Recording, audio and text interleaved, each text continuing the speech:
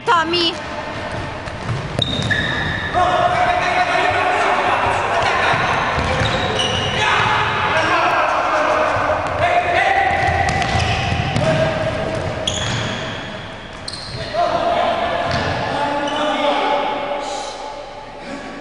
Si è fatto male? Dio santo.